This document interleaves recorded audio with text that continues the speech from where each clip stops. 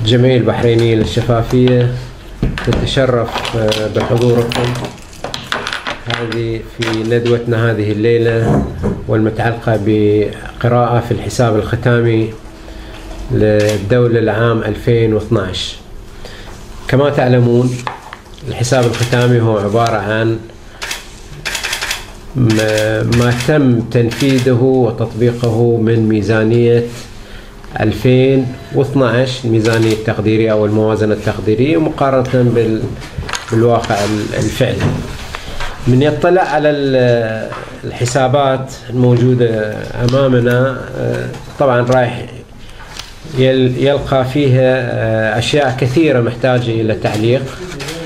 وأهمها اللي هو العجز اللي حصل في 2012 اللي يبلغ تقريبا 31 مليون و328 دينار.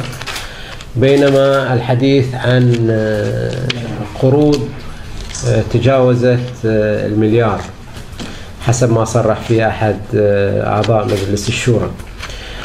وال ها؟ حق سنة واحدة. حق سنة واحدة طبعا.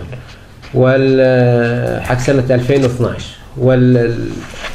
والملاحظ أيضا إن تكلفة الدين يعني الفوائد التي ندفعها على الدين بلغت تقريبا 150 مليون دينار. هذه الفوائد اللي دفعناها على الدين في عام 2012 وهذا الدين وهذه الفوائد تتجاوز الدعم اللي تقدمه الحكومة اللي يعني صار للحكومة فترة أكثر من مرة عندها تصريحات بوقف الدعم. على المواد الغذائية وآخرها الضج اللي صارت فيما يتعلق بزيادة آه، تكلفة أو زيادة الديزل آه، آه، طبعا إذا تقارن الأرقام الموجودة في الميزانية يعني طبعا في خلل كثير في هي في هيكلية المصاريف. مصاريف طبعا لم يتم التطرق لها. على سبيل المثال مصاريف المستشفى الملك حمد آه، ما أدرج في الميزانية هو فقط الرواتب. أما المصاريف الأخرى لم تدرج باعتبار حسب آه، قانون معين آه، أن هي لها ميزانية وتم تدقيقها من قبل جهات أخرى ولم يشملها تدقيق ديوان الرقابة المالية.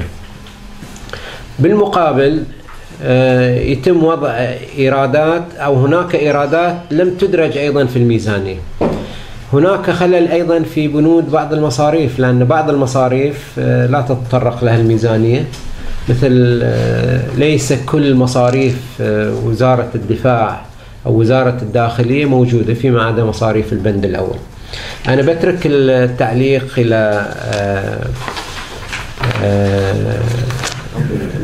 الأخوان كلمة الأستاذ عبد النبي العكري عن الجمعية البحرينية للشفافية والدكتور جاسم والدكتورة هدى لعمل إطلالة ومن خلال المناقشات من نستعرض بعض الملاحظات العامة.